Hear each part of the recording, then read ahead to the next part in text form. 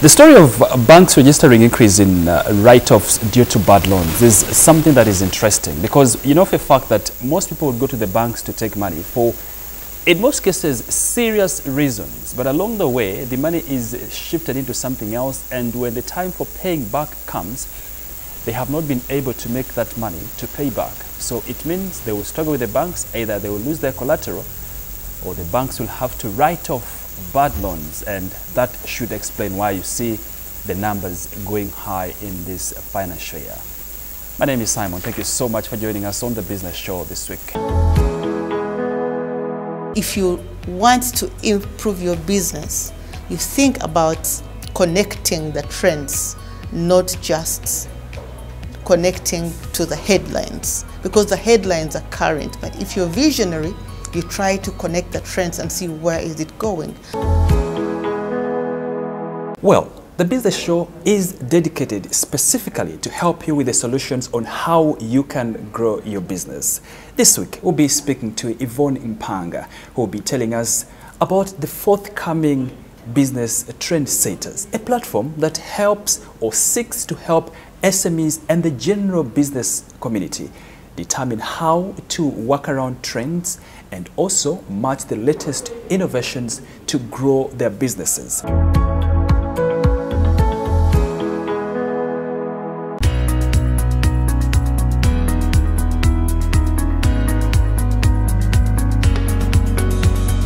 In 2022, having recovered, maybe not 100% successfully, but recovering from the COVID aftermath, we were like, now it's innovation culture for business continuity. Because we believe that, and the CEOs will agree, that innovation is what keeps business ahead. As business trendsetters, we believe that if you do not innovate, you are willing to let your business collapse. So innovation culture for business continuity was our theme for last year. And our pace setters then included Professor Balunywa, who set a trend in the COVID time, and of course, is well known for his Leadership Academy. Reinvention in business. First of all, when you think of reinventing, it means something was already there. And somebody always told me that there is nothing new under the sun. It is just new ways of doing things. So when you talk about reinvention in business, we don't want to talk about Twitter that has been changing from now X, but we want to talk about here in Uganda, what are we trying to do and doing differently? When we saw the telecom companies launching the 5Gs, and that is part of reinvention, you already have a network and it's functional. But you look at what is it that is going to make it more applicable to the times.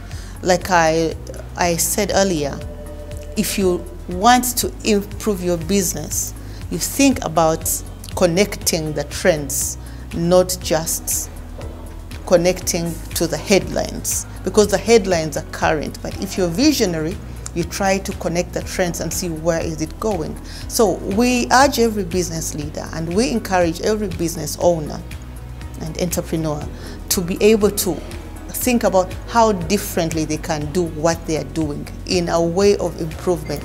And that to me is the reinvention. Okay. If you have been doing scarves or shawls. Uh, we have the women entrepreneurs. Some of them do beautiful scarves. Now you have to ask yourself, is it the colors that I have to change? Is it the fitting that I have to change? If you are producing juices, there's somebody who is producing, is it something, is it the flavoring that now has to change? So reinvention is about doing what you have been doing, but in a unique and more definitive way. Okay. In your introduction, you did say you work with SMEs uh, as well. And maybe for those watching, they would ask, is this Business Trendsetters Forum entirely for the CEOs and the established businesses? Or for me as an SME person, how do I also benefit from such opportunity or such platforms? Wonderful, wonderful. One of the things that we focus on as the Business Trendsetters Forum is cross mentorship. So we are about identifying trends, we stand for cross mentorship, which is we believe the young have a lot to learn from the old, and the old have a lot to teach the young. This year, we are happy to have Youth Startup Academy having 20 exhibitors of the latest trends. And what does that mean to the MSMEs? That we even have startups coming. But that does not mean that we don't have URSB, a government body, or URA, which will guide them in how to do things and plan for their businesses better. It doesn't mean that we don't have the bigger companies like Bella Wines, which have been around for almost 20 years, to support the young ones on how they can do better. We have Arena Beverages, who have been there for about 10 years and keep reinventing. Recently, they started something to do with Mpiruvuma tea, and then, then they went ahead to come up with uh, a tea bag or a bag, but for a different kind of product. So the MSMEs are actually going to, to benefit as much. In fact, they are likely to benefit more because part of the vision we have is to see people looking for investment partners. Many people out there are willing to invest, but they are not convinced that the investment avenues they are putting their money into are sustainable and scalable.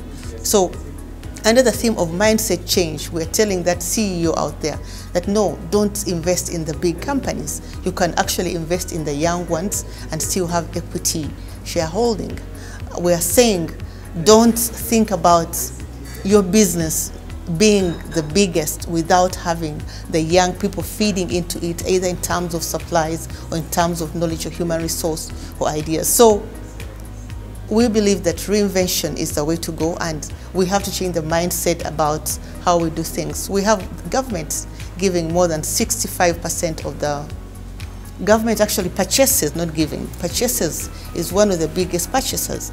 But how many of us are ready for purchase in terms of preparation to do tenders with, the, with aspects of the states? Our mindset has to change and we're like, no, these things are not actually pre-prepared. They are done online and we can qualify for them if we put our house in order. So that is partly part of the message. Like I said, our pace setters this year are headed by Ramathan Ggoobi, who has made a lot of changes in the Ministry of Finance and Economic Planning. We have readers. People say Ugandans are not readers, but Dr. Ashraf Ssemwogerere will tell you that that's contrary to. It's just that we were not developing the content they want to read and relate with.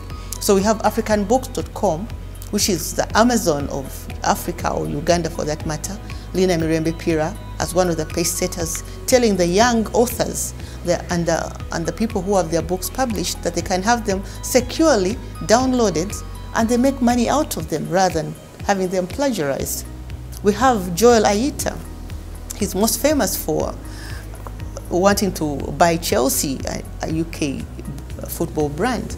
But he's also a businessman who has changed how Arua looks at doing business. So it's about mindset change enabling reinvention in business. Where are the opportunities?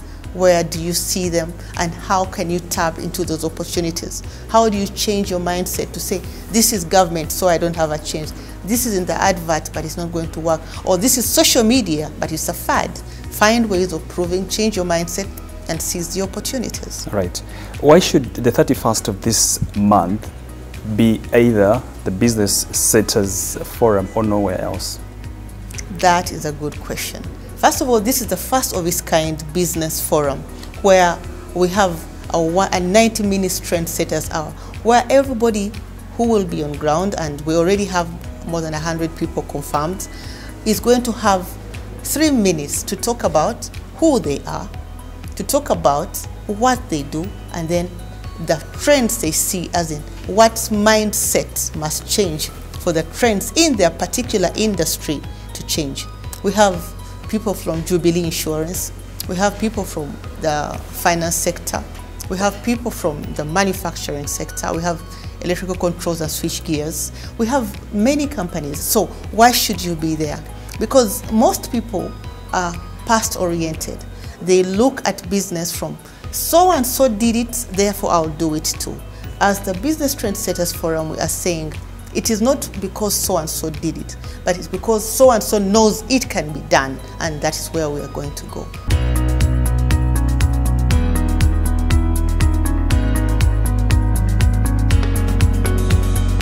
This is the business show. Let's take a quick break. Don't go so far away. I'll see you shortly.